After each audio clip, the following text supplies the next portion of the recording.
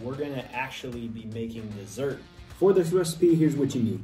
Medium, large oranges, one box of whatever cake mix you decide, and whatever the ingredients call for.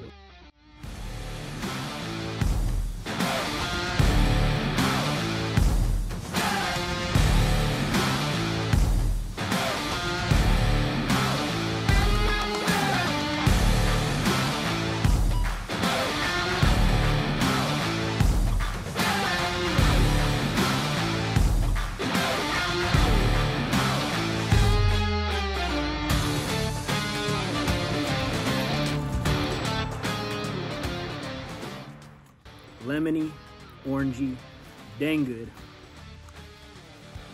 You're gonna love it.